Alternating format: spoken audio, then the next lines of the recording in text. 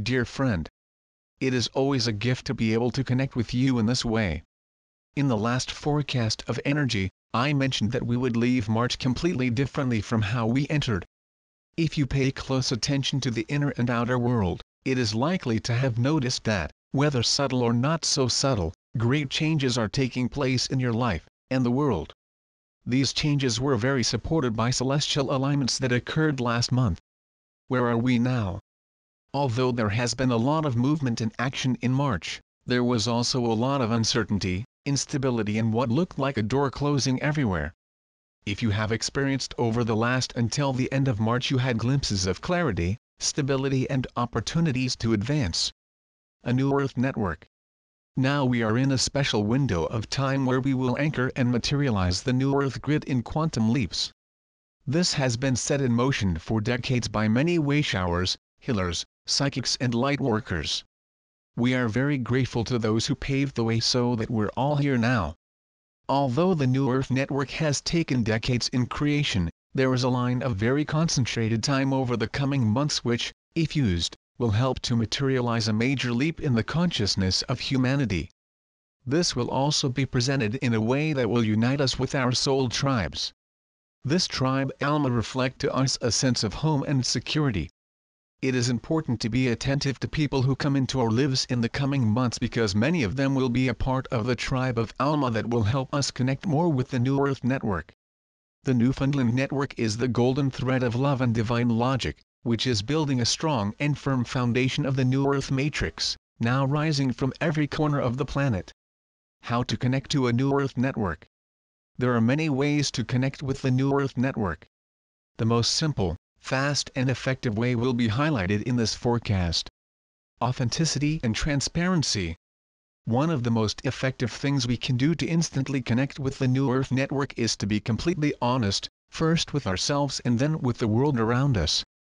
The first step is to do a quick inventory of where in our lives we are being completely honest, authentic, transparent and that other areas can benefit by having more of these qualities. Be honest and authentic is not to be confused with being intentionally cruel, rude or harmful, especially the way we deliver our truth. The recent behavior has no place in the New Earth Network. Some simple questions that we can do to help evoke a greater authenticity are, what are the things that matter most in my life? And, who am I when I express free and fully from the heart? When will really is healing? Often, when cured in an apparent imbalance in our lives, a great burden that had occupied our attention is taken from our energy.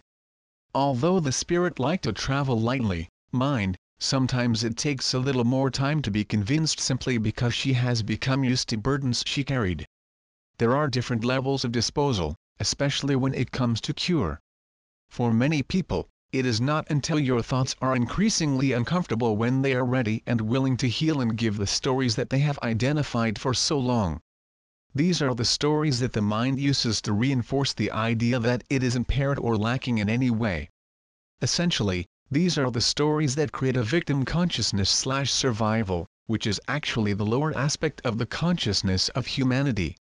However, we are at an extraordinary moment now, where we no longer identify or act on from the victim consciousness. We have the opportunity to change our lines of personal and collective time, so that we can really begin to act from the most imponderata and sovereign part of ourselves.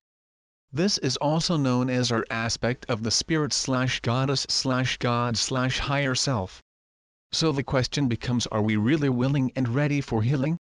That is, we are willing to give up the dramatic patterns, insecurities, histories, fear, worry, lack, addiction, guilt, self-sabotage, guilt, or any other behavior that affirm the victim consciousness? Once we get a yes interior, we can then start asking questions like, who am I outside the limiting stories that my mind is identified? What steps am I willing to take to find it? If you are finding that is not healing as quickly as you like, the cure just being another word to remember the fullness, perfection and plenty that were in and around you, all the time, so invite your mind to reflect on how this can still be identified with the old victim consciousness. The mind can immediately resist, and think something like, I do not want the old patterns. I really want the cure. However, question it. Ask do you really want a cure? because, clearly, you're still finding comfort in the old discomfort. Once you begin to question your mind in this way, it will begin to illuminate parts of the brain where asleep. These are the parts that allow more wisdom and insights will, clearly, aim unconditional form. The idea of love has gone through many misinterpretations in most societies. We learn through religions, doctrines, the media and traditions, so we experience love, we have to worry about it, look for it outside of ourselves, sacrifice us for it, we experience pain and grief with he suffered for it, give up things that we want to have it, we believe that it is conditional and so on. True love is not always easy, unconditional, expansive, joyful, eternal, firm and without judgment. It is simply the way people interpreted the wrong way the love that created the illusion that it is less than these qualities. Over the coming months, one of the most important things we can do to connect with the New Earth Network is to rediscover what is really love and then begin to raise ourselves in love first, with ourselves and then with the world around us. For generations, most of humanity has learned what is wrong we love and honor in the same way that we should love and honor others. This tradition is actually one of the main reasons why humanity since ceased to know the divinity of who we really are. We were taught to seek outside ourselves the answer when she was in every fiber of our being, all the time.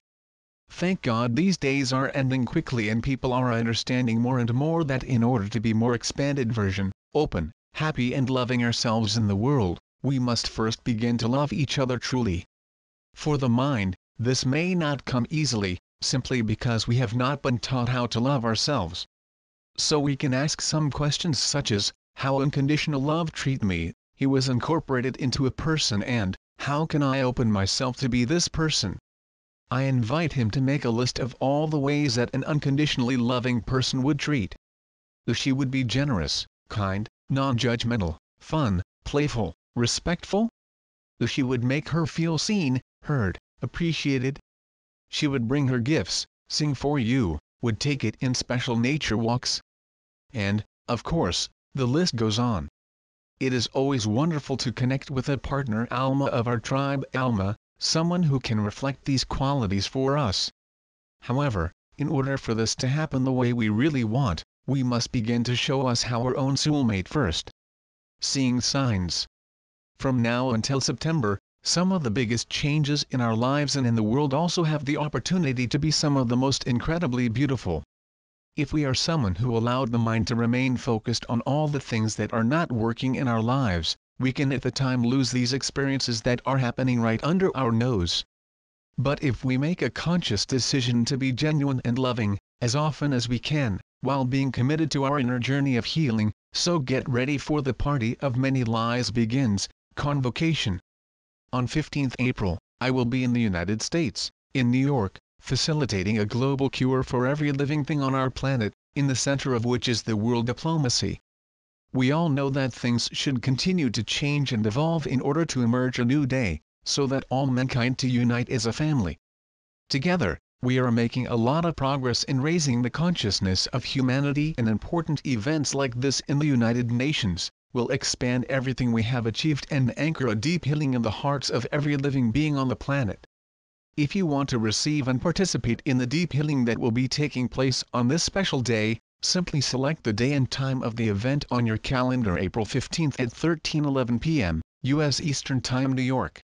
During this period, please take a break for a few minutes and send a clear intention to the universe that their presence is included in the overall healing and activation of unconditional love and the light that will be taking place at this time, for all mankind. This will be one of the biggest things that you and I have done together. Please share it widely with your friends and family so we can ensure that all those who wish to experience and contribute to more peace, joy, love, healing and abundance for all, have the opportunity to do it now. Until next time, miraculously His. Emmanuel